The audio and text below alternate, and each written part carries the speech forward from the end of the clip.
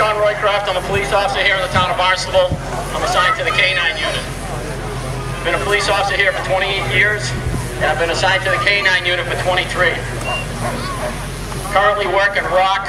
Rock is a Belgian Malinois. He's five years old.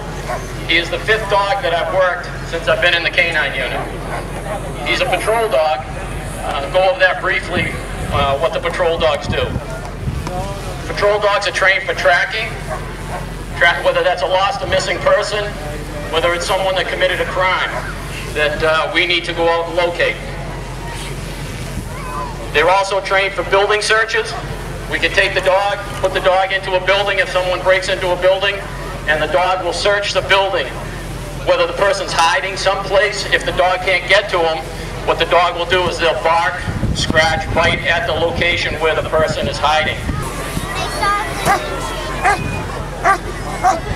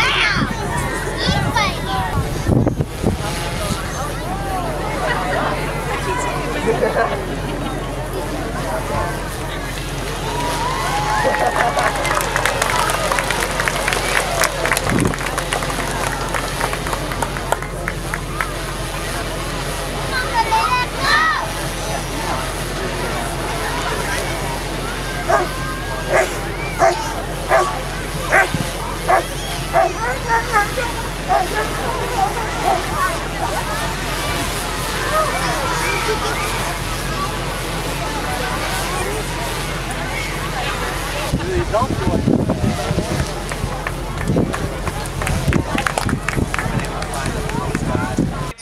use for police work here.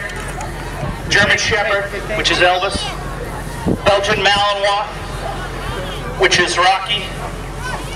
And we also use a Dutch Shepherd or a Dutch Herder, kind of a tiger striped dog. Those are the three uh, main working breeds we use. Now you're going to see the muzzle with Rock.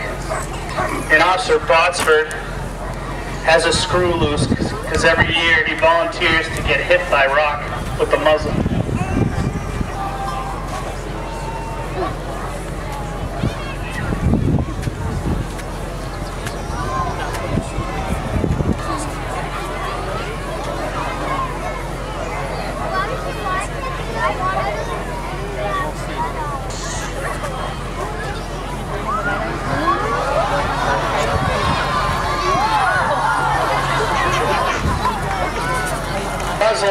Has a steel bar in the front of it, and Rock was probably going about 25 miles an hour.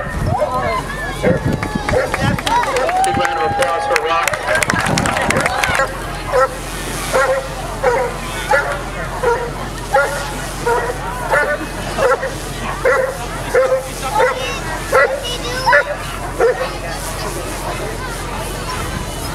It is Rock.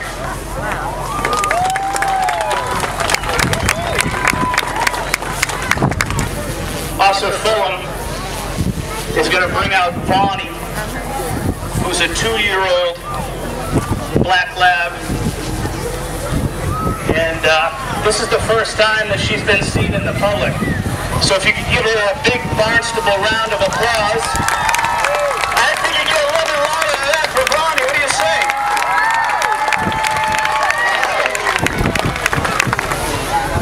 See how excited she is to be here with her tails wagging? I know, right? She's going to start school for 10 weeks coming up with Officer Fulham.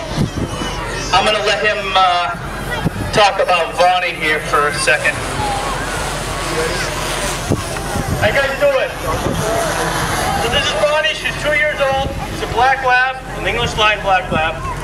She comes to us from Guiding Eyes, which is a seeing eye program. So for the past two years, that's what she's been training to do, is become a seeing eye dog.